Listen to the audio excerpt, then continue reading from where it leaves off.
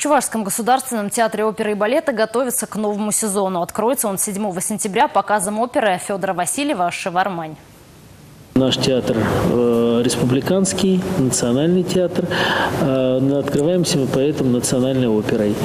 Э, сразу же э, после этой оперы мы показываем э, балет «Лебединое озеро». И третье, э, третье мероприятие, которое у нас Они точно пройдет своем на выборе первой неделе, музыка. на неделе нашего открытия, это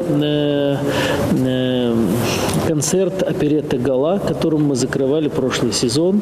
Осенью в театре ожидается много интересных встреч и премьер. 28 и 29 октября вниманию больших и маленьких зрителей будет представлена премьера балета Карена Хачатуряна «Чиполлино». Художник-постановщик балета, заслуженный художник Чуваши и новый директор театра Валентин Федоров. Сразу после окончания сезона коллектив театра отправится на гастроли в Ярославль, где будут показаны лучшие балетные спектакли театра «Байдерка», «Спящая красавица», «Вальпургиева ночь» и «Кармен Сюита».